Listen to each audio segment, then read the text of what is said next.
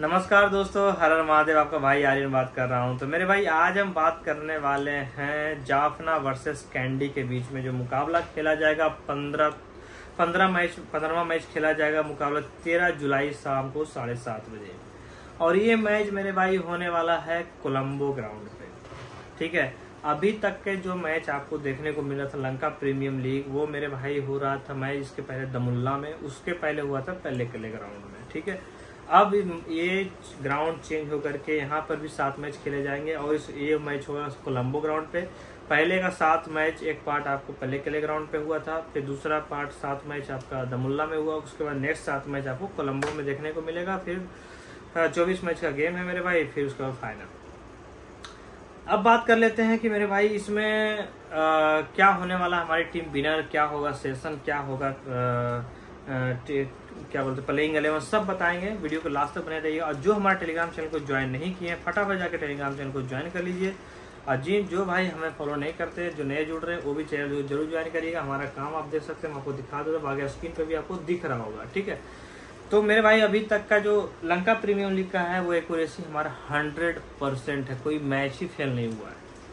नहीं विश्वास एक बार ज्वाइन कर लीजिए हमारा टेलीग्राम चैनल और ज्वाइन करने के बाद अगर आपको काम पसंद ना आए तो आप हमारा चैनल को लीव कर सकते हैं, भेजिए। ज्वाइन करने में कोई पैसा नहीं लगता, हम मैच भी फ्री देते हैं, कोई पेमेंट नहीं लगता।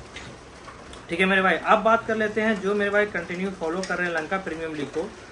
तो मेरे भाई, मैं उनको ये कहूँगा कि लंका प्रीमियम लीग में जैसा कि जो मैच अभी चल रहा था, वैसा शायद कोलम्बो ग्राउंड पे आपको देखने को ना मिले। इस पिच का जो एवरेज स्कोर है वो 165 है, ठीक है? ज़्यादा उसको इस ग्राउंड में बनता नहीं है। जैसे दमुल्ला, में आपको सपाट पिच फ्लैट पिच देखने को मिल रहा था और काफ़ी ज़्यादा हाई स्कोरिंग गेम हो रहा था काफ़ी ज़्यादा आपको चेस देखने को मिल रहा था तो वो शायद इस ग्राउंड पे ना हो। तो इसीलिए मेरे भाई वीडियो को लास्ट देख लीजिएगा तो लॉस होने से आप बच सकते हो।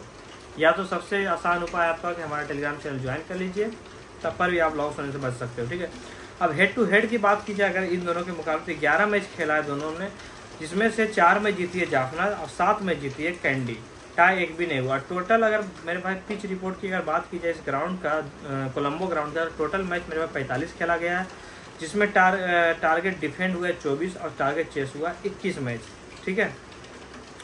एवरेज स्कोर की बात की जाए तो 152 इसलिए मैं बोल रहा था मेरे भाई कि एवरेज स्कोर इस ग्राउंड पे ज़्यादा नहीं है। कोलंबो के ग्राउंड पे उतना स्कोर नहीं बनती है। जो आप दमुल्ला का मेंटलिटी लेके आ रहे हो पहले के लिए ग्राउंड पे वो इस पर भी 180 190 बनेगा और चेस होगा तो मेरे भाई वो नहीं हो सकता है।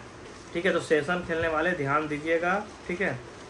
जो सेशन खेलते हैं, जो फॉलो विकेट खेलते हैं, वो ध्यान रखिएगा। और जो जो फॉलो विकेट की बात कर रहा हूँ मतलब कि जो दमुल्ला के ग्राउंड पे और पहले के ग्राउंड पे क्या था कि एवरेज विकेट जो गिर रही थी, वो उनतीस रन, तीस रन पे एक विकेट गिर रही थी। ठीक है तो उनतीस रन पे एक विकेट फॉलो विकेट था। तो शायद यहाँ पर ये ना हो।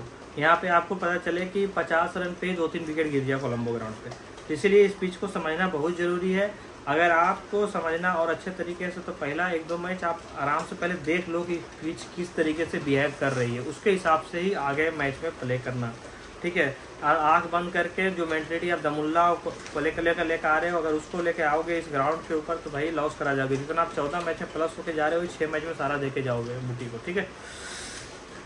तो मेरे भाई फ़र्स्ट इनिंग का एक सौ बावन है टारगेट चेस हो जाएगा, एक सौ अड़तालीस का बनेगा टारगेट चेस हो जाती है target defend one sixty four मतलब कि मेरे भाई अगर वन सिक्सटी से वन सेवेंटी स्कोर भी इस ग्राउंड में बनता है तो वो डिफेंडेबल स्कोर होगा मेरे भाई चेस नहीं होगा। पिच रिपोर्ट की अगर बात की जाए तो बाउंड्री लेंथ मीडियम है। और मैच मीडियम स्कोरिंग होगा, मेरे भाई सर्कस हार्ड ड्राई हार्ड है कंडीशन बैटिंग का है, ठीक है। हेल्प दोनों साइड करेगा पावर प्ले में उसको छियालीस इक्यावन। जहाँ पावर प्ले में स्कोर आपको देखने को मिल रहा था पहले कितना? पचपन साठ खुल रहा था, दमुल्ला पहले करे और इस पर क्या है? छियालीस इक्यावन। ज़्यादा स्कोर देखने को नहीं मिलने वाला है। टीम परफॉर्मेंस की अगर बात की जाए, मेरे भाई तो सत्रह मैच खेला के खेला है जाफना ने, वही ग्यारह मैच जीता है और छः मैच लॉस करा रही है। कैंडी फल्कून की बात की जाए, सत्रह मैच मेरे छः मैच जीती है, ग्यारह मैच लॉस करा के आ रही है। ठीक है? अब बात करते हैं टीम परफॉर्मेंस की। मेरे भाई तो आपस में दोनों ने पाँच मैच खेला है। जिसमें से जाफरान जीता है, तीन मैच कैंडी ने जीता है दो मैच। तो दोनों टीम अच्छी टीम है, दोनों के जो बैटर है, वो काफ़ी अच्छा फॉर्म में है।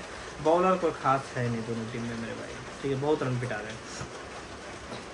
शायद फ्लैट पिच हो, सपाट पिच इसके कारण से ज़्यादा स्कोर दे रहा है बॉलर लेकिन मुझे बॉलर तो कोई दिख ही नहीं रहा है कोई अच्छा ढंग का बॉलर सिर्फ़ बैट्समैन बैट्समैन भर रखे हैं, आठ, नौ तक प्लेइंग एलेवन की बात कीजिए, कैंडी का, मेरे पास तो दिनेश, चंदीमल और अंटर फ्लेचर ये दोनों बहुत ही अच्छा फॉर्म में चल रहा है।